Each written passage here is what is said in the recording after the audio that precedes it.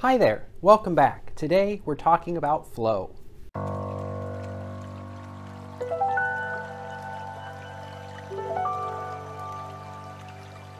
Whenever I'm around people who are talking about the characteristics of good writing, the word flow seems to come up more often than any other. It would appear that people love writing that flows and they hate writing that doesn't. So everyone wants flow, but I've never really heard somebody say what flow actually means. And let me tell you, it can be pretty frustrating to make your writing flow when you don't even know what you're trying to accomplish. In fact, I think the mysteriousness of the word flow is part of the reason that people think that writing is some arcane talent that only a select few can have.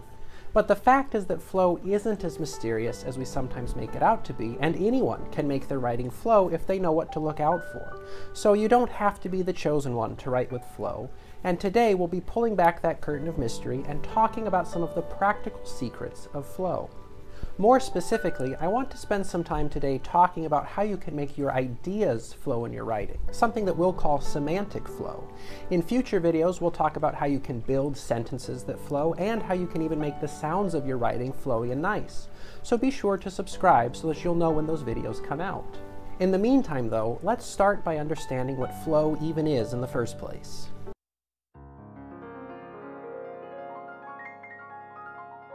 So let's forget about writing for a second. What does flow mean in other contexts? If we think about things that flow, what can they tell us about the qualities that we're trying to emulate in our own writing?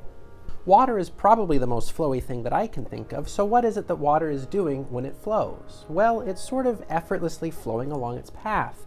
Rivers flow downhill, the tides come in and out. Take a drink and the water will flow easily and effortlessly down your throat. Now, I'm no scientist, but I do know that water can flow because the molecules in water are free to move past each other.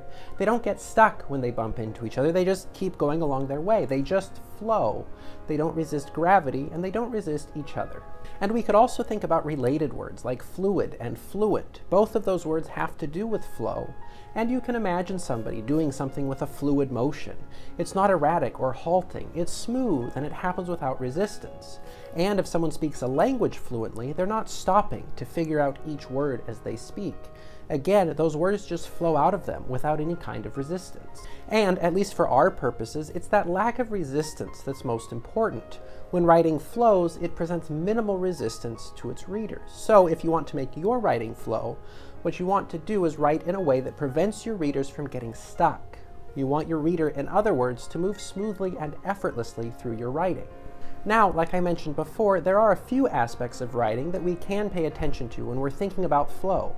But for today, I want to focus on just one of them, the flow of ideas, which is what we're calling semantic flow, after the branch of linguistics that studies the meaning of words.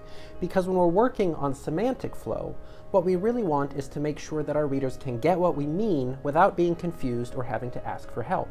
More particularly, I want to talk about three key strategies that you can use to improve the flow of ideas in your writing.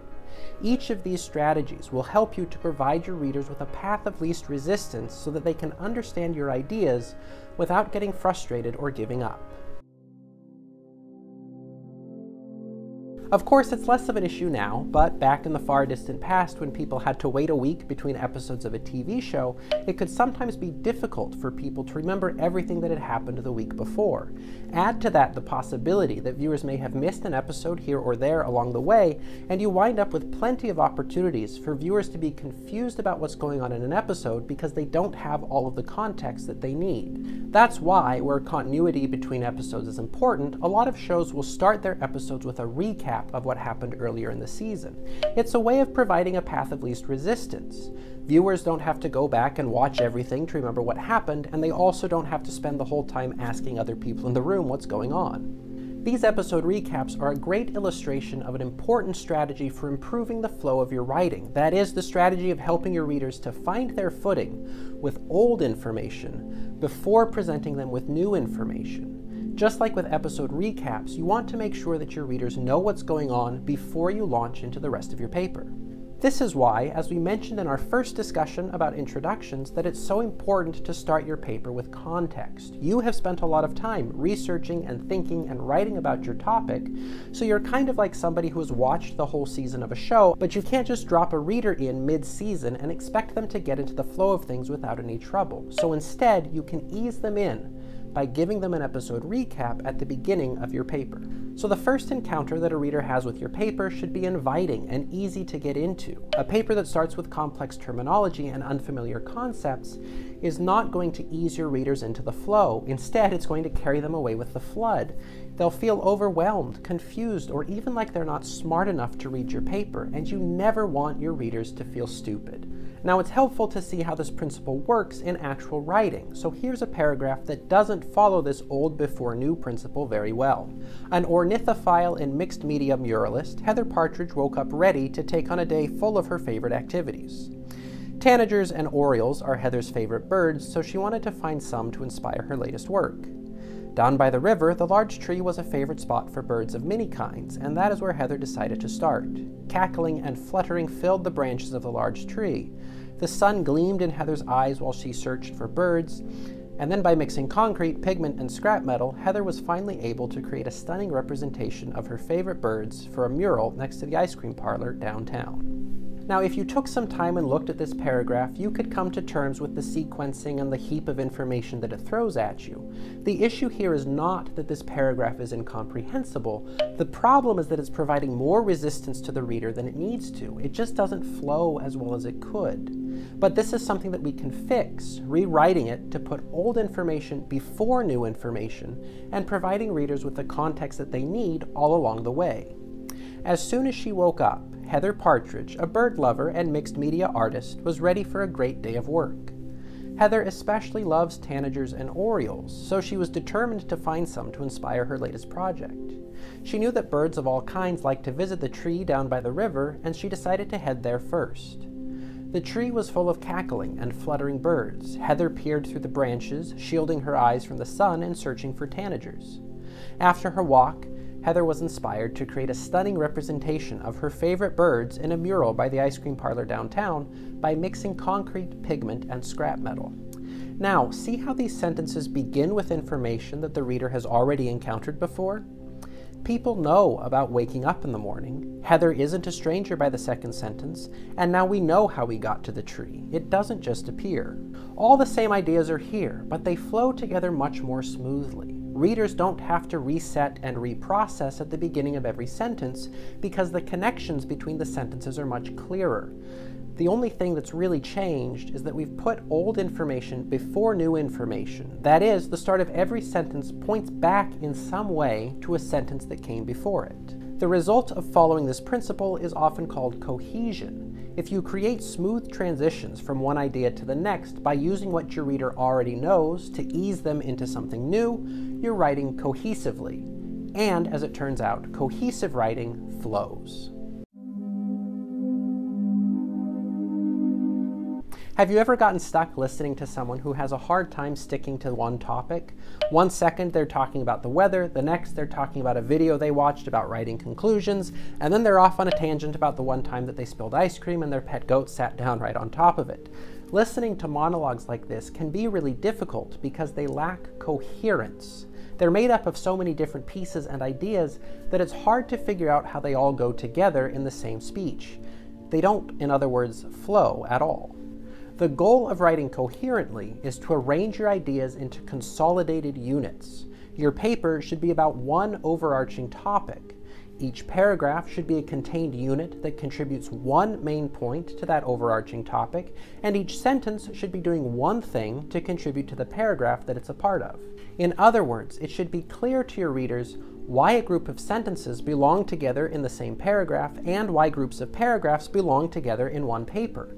If your reader is too busy trying to figure out how and why your ideas fit together, then your writing is presenting more resistance than it needs to. So, by making sure that each part of your paper is focused around a single main idea or purpose, you can help your readers to flow more easily through your work.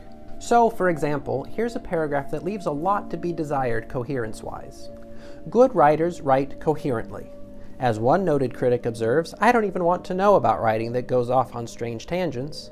So writing should always be focused. I think the best way to revise is to cut out ideas that don't fit. All in all, strong papers are to the point and centered on one idea. Now, this paragraph is at least doing an okay job of staying on topic, but the sentences aren't working together as well as they could. Strictly speaking, the first paragraph is about writers, the second is about the observation of a critic, the third is about writing, the fourth is about the author's opinion, and the last is about strong papers. These are all related ideas, but they're all different ideas. A thoughtful reader can reconcile the disjointed subjects of each sentence, but these sentences could do more to work together. They could do more to be coherent. So here's a more coherent revision of the same paragraph. Good writing is coherent because, in the words of one noted critic, readers don't even want to know about writing that goes off on strange tangents. So, good writing needs to be focused, and that focus can be achieved by cutting out ideas that don't fit. All in all, strong writing is to the point and centered on one idea. Notice that none of the information in the second paragraph changed, but you can also see that all of the sentences are clearly and explicitly about the same thing good writing. In the second version, the reader doesn't have to take four disparate ideas and then find what they have in common on their own. All the sentences are clearly and explicitly contributing to the same topic. So instead of getting hung up connecting the threads, the reader can just flow along and take it all in. So coherence involves making sure that all of the ideas and pieces of your paper go together, whether that's making sure that sentences fit together in a paragraph or that all of your paragraphs belong in a paper. And it also involves making it easy for your readers to see that they fit together and how they fit together. You don't want a reader trying to figure out why two sentences are next to each other in the same paragraph. And that, combined with our cohesion principle, leads us to something that's important to keep in mind. Try to avoid teasing what's next at the end of a paragraph. Now, this is something I see really commonly in the papers that I've graded. Writers get excited about what they're about to say, and so they start teasing it at the end of the paragraph before transitioning to the new topic. But hopefully now you can see why that's a problem. Not only does it introduce a sentence that doesn't really fit with the paragraph that it's in, but it also puts the transition at the wrong place. Remember, the goal is to use a little bit of old information to transition into new information. So you should normally put transitions at the beginnings rather than at the ends of your paragraphs.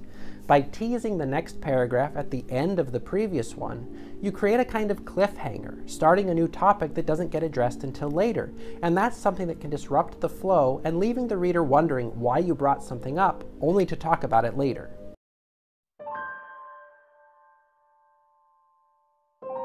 Now this last principle for semantic flow is maybe a more generalized expression of the previous two principles that we've discussed, and it is that whatever you do in your writing, your ideas should be structured and presented in a way that makes some kind of sense. For example, recipes will usually list ingredients by the order that they're added to the dish. Recipe writers, I guess, could list ingredients alphabetically or by quantity, but that wouldn't make the most sense for someone who's cooking. So, by listing the ingredients in the order that they should be added, recipe writers reduce the resistance that cooks will face as they're using a recipe. That is, it's an order that flows most naturally for the purpose of the text that they're writing.